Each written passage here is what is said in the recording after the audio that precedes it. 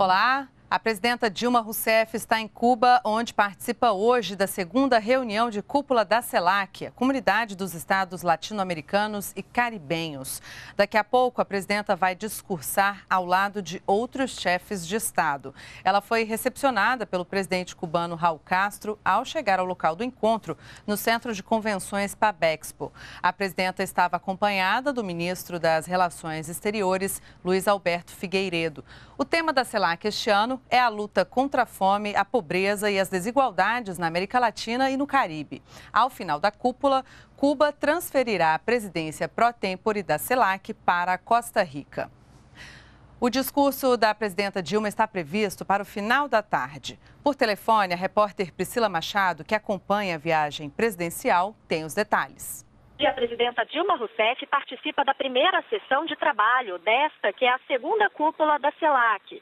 Nesta reunião, os líderes dos 33 países da CELAC têm direito à palavra e a presidenta Dilma irá discursar.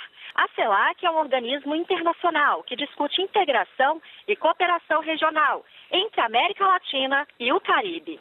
33 países fazem parte do grupo. De Havana, Cuba, Priscila Machado.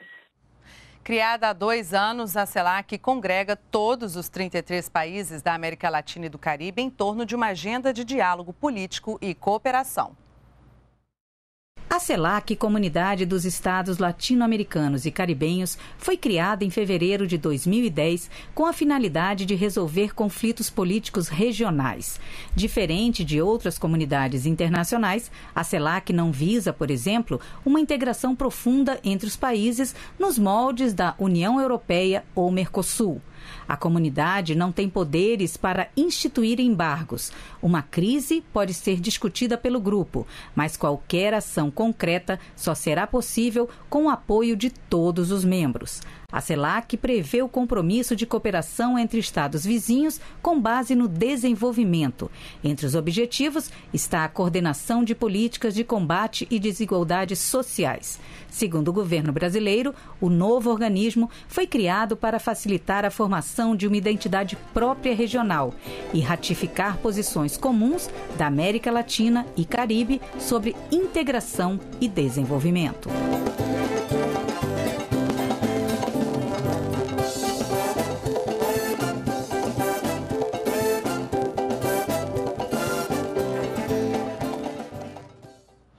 Você acompanha daqui a pouco pela NBR a transmissão do discurso da presidenta Dilma Rousseff na segunda cúpula da Comunidade dos Estados Latino-Americanos e Caribenhos.